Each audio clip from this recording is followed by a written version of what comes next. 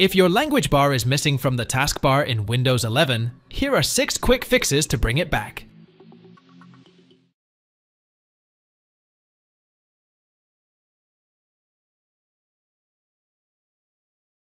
Press Ctrl plus Shift plus ESC keys together from your keyboard and open Task Manager. Now, locate all Microsoft IME tasks and right-click and end them.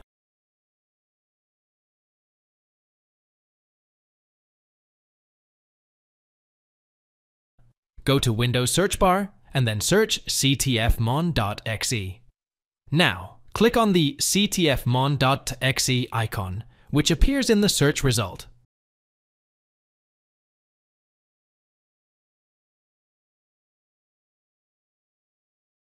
Search Services in Windows search box. Now, click on Services icon to open Service Manager.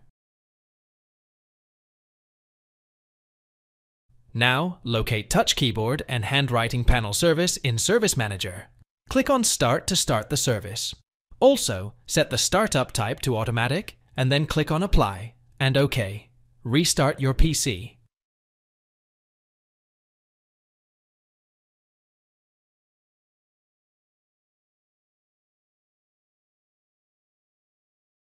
Click on the search box beside the Windows icon and type Language Bar, and then click on Use the desktop language bar when it's available. Now, in the Settings window, check the option Use the desktop language bar when it's available. Now, just below this, click on Language Bar Options. Choose Docked in the Taskbar option.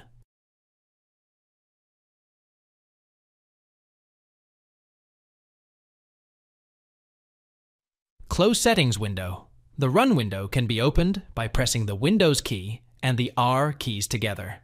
After opening it, type regedit.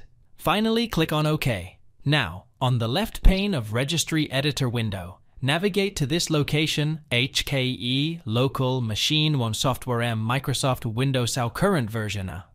Run in the right side, right-click on any empty space and click on New and then create a new string value.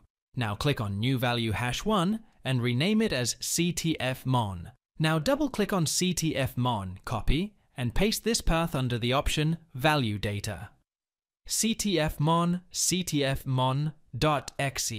Finally click on OK to complete the process. Close Registry Editor window. Now reboot your computer. After rebooting your computer check if you can locate the language bar right corner side of the taskbar. Thanks for watching. If it helps, make sure to hit like and subscribe.